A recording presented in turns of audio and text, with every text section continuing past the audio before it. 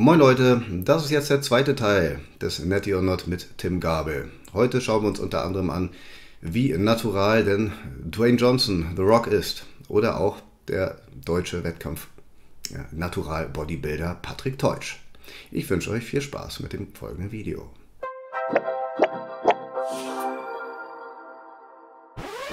The Rock. Dwayne Johnson. Mein Lieblingsnaturalathlet. Ja, es ist krass, dass der nur mit 18 einmal ganz kurz Steroide ausprobiert hat, dann gemerkt hat, das ist nichts für ihn und sie dann nie wieder angepasst hat. Er, hat hat er mit und, 18 ähm, nicht, Alter, konnte mal die Form Ja, mit, ja und das vollkommen natural, ist klar. Weil, wie gesagt, nur mit 18 einmal ganz kurz ausprobiert, Auf gemerkt, was ist, ist nichts der? für ihn. Ich, ich, ich, war, ich war ganz früher, ganz Okay. früher habe ich auch so gedacht, so, Ne? oh, vielleicht, ich wollte es echt glauben, Der hat sich ja schon, der hat ja schon in seinen 20ern, als er noch Wrestler war, musste ihm ja schon eine Gyno entfernt werden. Hm. Ne, der hatte da eine Gyno-OP, der hatte eine Zeit lang, ich war damals, äh, war damals, äh, habe ich mir Wrestling gerne angeguckt und der hat eine Zeit lang ist er dann mit, mit, äh, mit, mit so einem T-Shirt oder sowas dann äh, in den Ring gestiegen, weil er, weil ihm eine Gynäkomastie entfernt wurde. Na klar, eine Gynäkomastie kann man auch so kriegen. Ich hatte auch Pubertätsgynäkomastie, ne, das ist, ähm, aber in seinem Fall ist das, er hatte auch damals in seinen 20ern schon irgendwie 120 Kilo, nur nicht in so trocken, als er Wrestler wurde. Dann hat er, wollte er ein normaler Schauspieler werden und hat Gewicht abgebaut und sah dann ja auch natural aus. Das war ja, ne, dieses Bild, was wir da links sehen, ist ja nach seiner Wrestling-Phase, wo er weniger Muskeln hatte als vorher. Und ähm, ich, würde sagen, ich würde sagen, in dieser Phase, wo er natural aussieht, war er auf TRT. Und ähm, was er jetzt genau alles nimmt, ist, ähm, ist, ist eine andere Sache. Aber wenn der so einen kleinen Anti-Aging-Mix, so ein, so ein äh, hier, ähm, ein bisschen Wachs, ein bisschen Testo. äh, Heiko Kalbach würde sagen, so ein Anti-Aging-Mix. So ein was? Also Anti- Anti-Aging, ne? Ja, ja, genau. Heiko Kalbach so immer. Nee, das ist auch, auch, in, auch, auch, äh, auch in Heiko Kalbachs ähm, äh, Wortwahl sicherlich mehr als, mehr als Anti-Aging. Ja?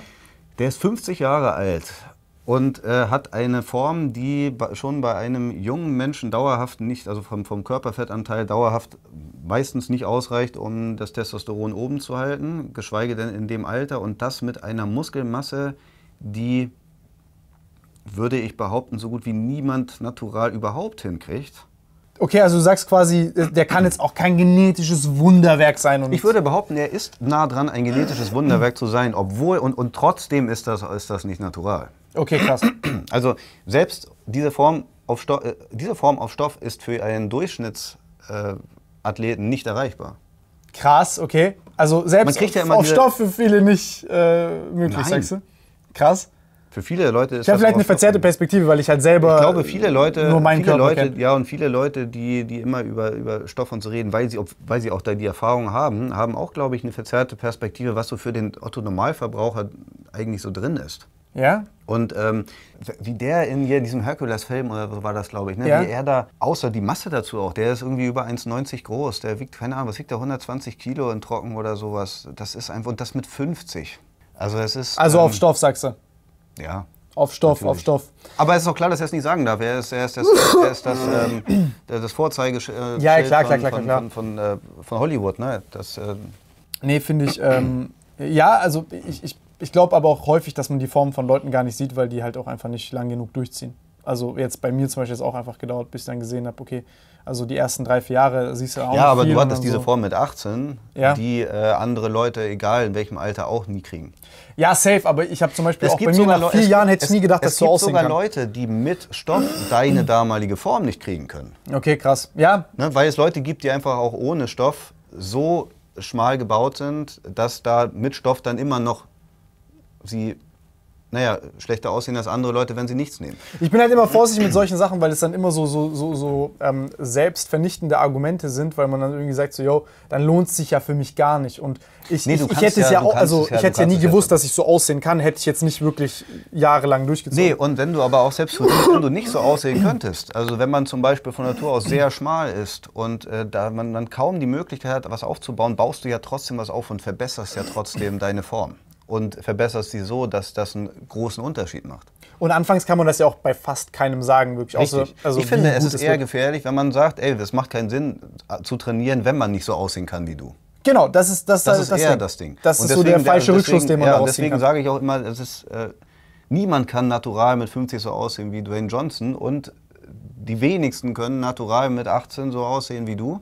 Äh, Dwayne Johnson könnte natural mit 18 wahrscheinlich so aussehen wie du, ja. Und du könntest vielleicht mit Stoff so aussehen wie Dwayne Johnson. Vielleicht. We will never know. Ich fasse ich nicht an. Bäh, warte, ihn würde ich skippen, weil er ist safe auf Stoff. Ja. Aber was ich interessant finden würde, ist hier Patrick Teutsch. Da hat mir Lukas gesagt. Ach, so sah der aus, bevor er Ja. Bodybuilder war. Guck, Weißt aber du, da- da- wie alt er da war? Nee, weiß ich nicht. Aber guck, da würdest du auch nicht sagen, dass der eine krasse Genetik hat. Auf dem Bild auf keinen Fall. Kommt drauf an, wie alt er ist. Wenn er da 13 ist, vielleicht schon. Also wie alt, kommt drauf an, wie alt er da ist. Ne? Wenn, Ja. er da, wenn er da 13 ist auf dem Ah, ich glaube, er hat da ein bisschen Bärtchen. Also. wenn er da aber irgendwie schon 17, 18 ist, würde man nicht sagen, dass er eine krasse Genetik hat auf dem Bild, auch wenn er die offensichtlich ja hat. Ich finde, Also- find, die Vaskularität bei ihm ist halt krass. Hat, also da habe ich sofort irgendwie gedacht, der ist trockener, als er eigentlich ist. Aber das ist schon eine, also ist schon eine sehr krasse Form. Also ich dachte auch am Anfang, der ist stoffsafe. Also das, wenn man jemanden irgendwo rumlaufen sieht, der so aussieht, ist, er, ist diese Person normalerweise immer auf Stoff. Aber diese Person ähm, ist dann auch nicht einer der besten naturalen Bodybuilder. Das ist auch die Sache wie mit anderen Leuten, wie, wie, auch wie, wie Brosep und so weiter. Das ist halt immer die Sache, was, äh, wenn, wenn jeder oder ein Großteil der Leute so natural aussehen würden, wäre er ja auch nichts Besonderes mehr und es würde keinen Grund geben, warum er irgendwie als, keine Ahnung, einziger Netti da irgendwo die Pro-Card oder was er da geholt hat. Ich bin da nicht so ganz... Aber wäre das nicht mal interessant, jetzt zum Beispiel für dich zu gucken, so als wir da im Podcast über diese genetischen Marker und so äh, äh, gesprochen Es wäre haben? interessant zu gucken, wie, ob er irgendwas, irgendwas beim Myostatin oder Follistatin, ob da irgendetwas bei ihm unnormal ist. Mhm. Ne, Das wäre schon interessant.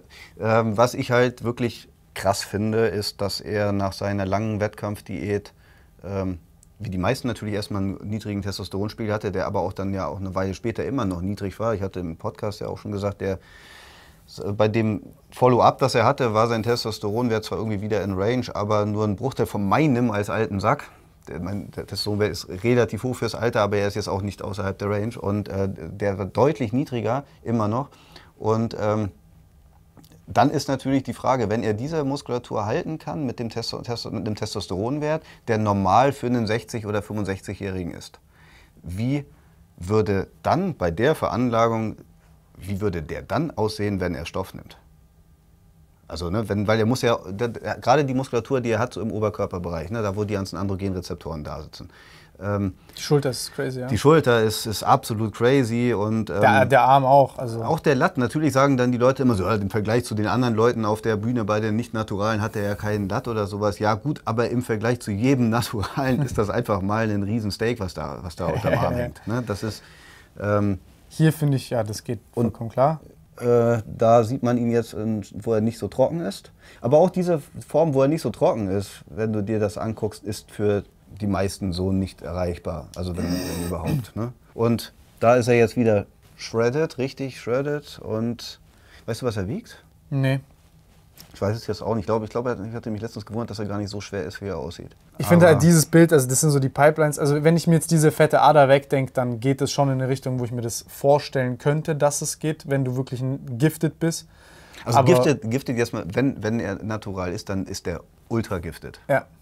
Und niemand, der sich so ein Video jetzt anguckt, sollte, sollte hoffen, so auszusehen, weil dann wird man unglücklich. Hater, Hater. Ja, da, ja, natürlich. Ich mache das auch alles nur, weil ich selber mit meinem Sport nie Erfolg hatte. Und, äh, und, ähm, Nein, aber ja. und ne, das ist klar. Aber wäre doch mal interessant, mal zu gucken, was da so, was da so abgeht, Myostatin, Follistatin und was auch immer mäßig. Also, es, wäre, es wäre interessant und vor allem auch, ich weiß ja nicht, ob er jetzt irgendwie.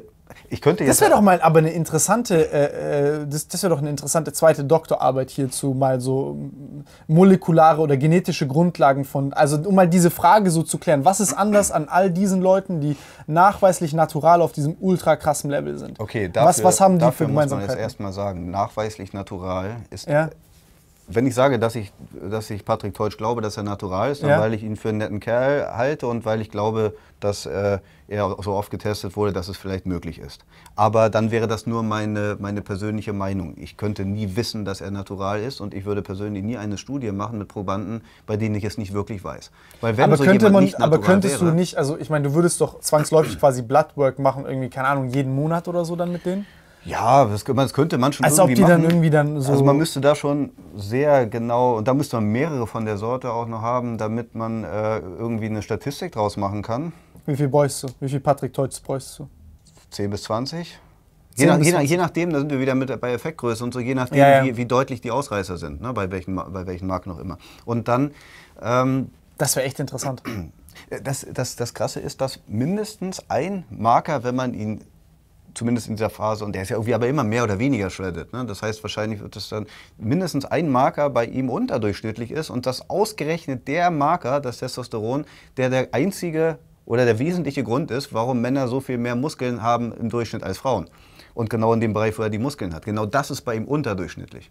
Und das ja. ist für dich etwas, was so nicht das ist so für mich etwas, Das ist für mich etwas, was, das ist nicht nur für mich etwas, das ist etwas, was erstmal wenn er die Muskeln dann trotzdem halten kann, nicht zusammenpasst. Er hat, er hat ja, glaube ich, auch gesagt, dass er dann eventuell dann vielleicht dann doch auf TRT muss, wenn sich das nicht wieder erholt.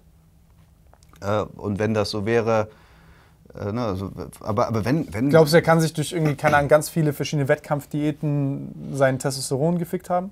Das, das, das, wird ja immer gesagt, dass das möglich ist. Ich bin da aber skeptisch, ob das dauerhaft möglich ist, weil äh, ich glaube, dass unsere Spezies ausgestorben wäre, wenn alle Männer, ja, true, Hunger, true, true. wenn sie in Hungerphasen wären.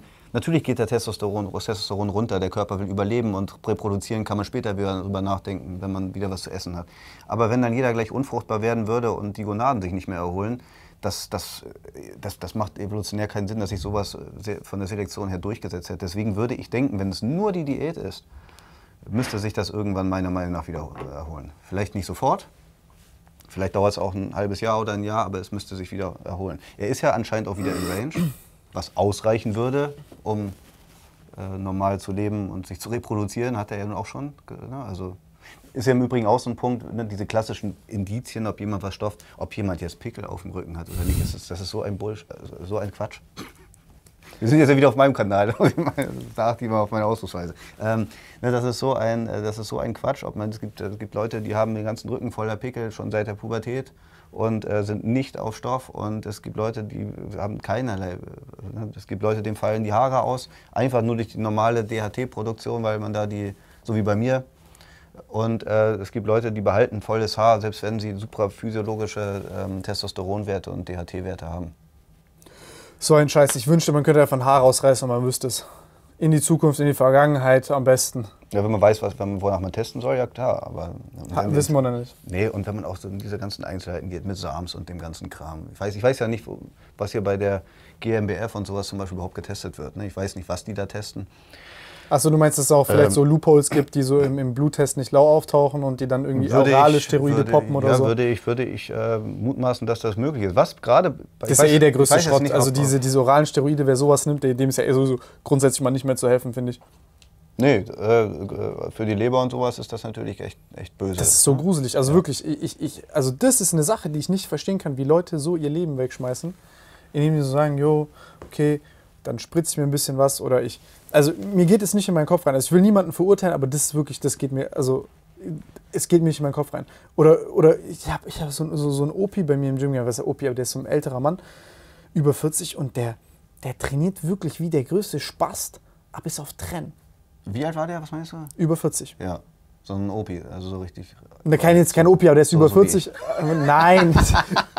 Nein, aber äh, der ist vielleicht sogar auch, also Mitte 40, 50, sowas. Okay, kann, kann, ja. weiß ich jetzt Na, nicht. so genau. oder so auf, auf, auf Aber auf, Trenn, auf, ja. auf Trenn, aber trainiert wirklich einen Scheiß zusammen und, und glaub mir, du würdest, also so.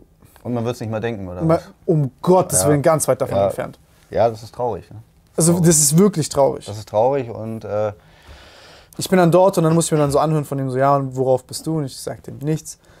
Also, ha, ha, ha, ha, ich bin auf. Äh. Und ich denke mir so, und bist du so, so, mach doch mal, zieh doch mal, mach doch, mach, mal bitte deinen Trizeps drücken nicht. Der nimmt Fullstack, macht so mhm. viel.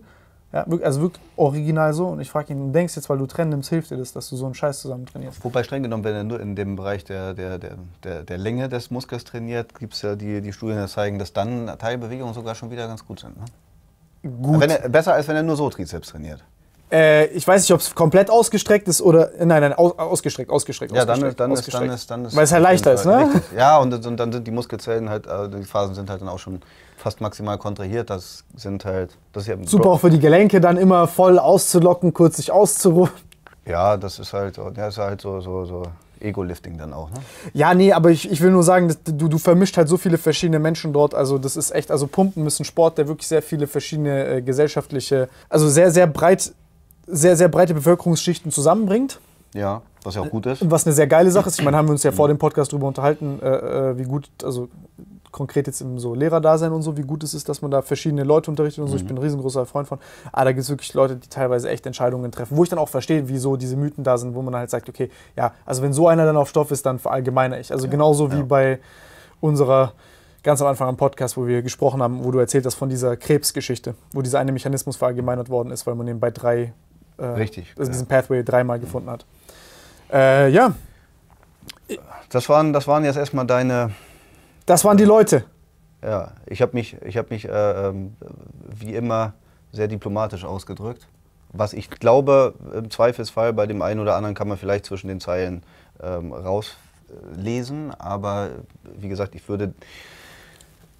Die meisten Leute können wahrscheinlich nicht so aussehen wie einige, die wir hier gesehen haben. Das mit Zac Efron, äh, kann ich mir vorstellen, ist für sehr viele Leute kurzfristig möglich, aber mit dem geringen Körperfettanteil nicht dauerhaft möglich. Ich glaube auch irgendwo gelesen zu haben, dass er gemeint hat, dass der da dann echt sehr lange auf Diuretika war. Ja, und ich könnte mir auch vorstellen, dass da auch noch was anderes ähm, am Start dann war. Ne? Wie gesagt, das ist. Äh, Chris Hemsworth haben wir jetzt ja geskippt, aber, Aber der ist, es ist hunderttausendprozentig, war der Ja. auf. Hat der ein bisschen Sprite getrunken? Tor ist nicht natural. Ja, Tor ist echt nicht natural. Okay. Ja, dann äh, habt ihr jetzt das erste Mal auch mal Netty or Not mit mir gesehen. Äh, ich kann tatsächlich gar nicht sagen, dass ich mehr Infos dazu habe. Ne, für, für das, was, das, woran man einen Fake Netty vermeintlich erkennt, das wissen alle Leute, die sich damit Pickel, dicke Schultern und Nacken bis zum Ohrläppchen. Ja, wobei dicke Schulter und Nacken bis zum Ohrläppchen wirklich sehr Hat ja noch eine verdächtig sind. Basis, Das ist ja. noch sehr verdächtig. Die Pickel sind meiner Meinung nach gar nicht verdächtig. Der, der Haarausfall ist nicht verdächtig. Die, äh, viele Sachen sind nicht verdächtig. Die tiefe Stimme bei Frauen ist sehr verdächtig. Oder die große äh, Klitoris. Auch das ist, äh, gut, das sieht man auf diesen Fotos sicherlich nicht. Ne? Das sieht man auf diesen Fotos sicherlich nicht. Ich habe das mal gesehen. Ja, aber äh, das. Echt? Okay, müssen wir gleich nochmal drüber reden. Aber, aber das ist auf jeden Fall etwas, was. Äh, das sind die Sachen, die, die natürlich dann klar, woran man es am ehesten erkennt. Aber es gibt, es gibt die genetischen Aus, äh, Ausnahmen. Es wäre echt mal interessant, dazu Studien zu machen. Das wäre echt krank, also so mal so diese Ja. Population von Ja. genetischen Wundern in Anführungszeichen zu untersuchen.